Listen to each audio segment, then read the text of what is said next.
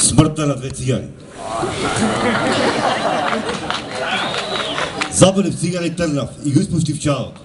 И воопшто очекувајќи чалот почна да зборува. Ми рече, јас сум духот, јас сум суштината на оваа цигара. Кога ќе ме допушиш, јас ќе умрам.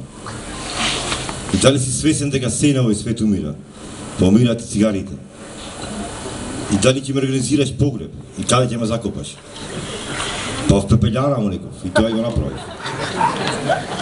И после пет минути се случна од звук на палење на кибрид.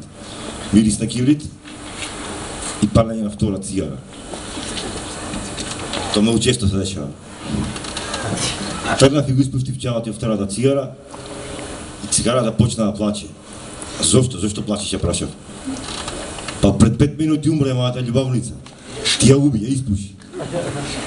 Океј, ме добро, нема да плачиш, ќе да закопам точно по крај. И ја испушив ја угаснав во пелјарата.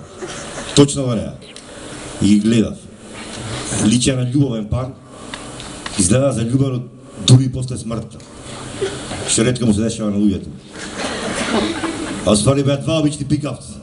Остатоци од цигара. Си ледав во нив, сватив дека пепелјарата беше ковчег, кафичот представуваше гробиште, а аз бев гробар. Седна така во пелјарата, додека шанкерот